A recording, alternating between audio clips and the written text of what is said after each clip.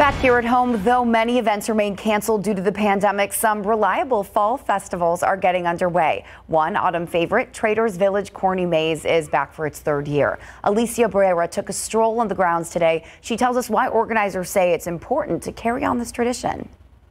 The aim here is simple get lost in 10 acres of fun. Yeah, if you get lost, we just find you on Thursday, no big deal. Traders Village had to close down during the worst of the pandemic.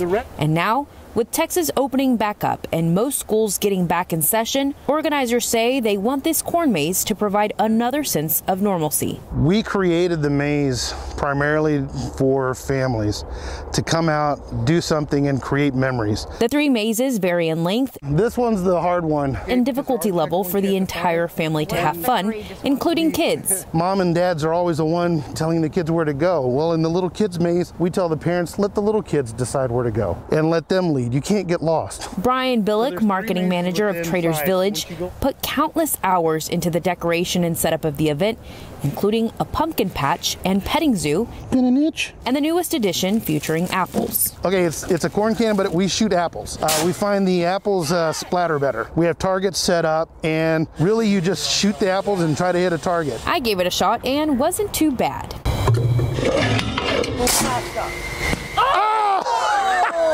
Traders Village says admission to the maze and the rest of the fall fun is $9.99 for anyone three years of age and older.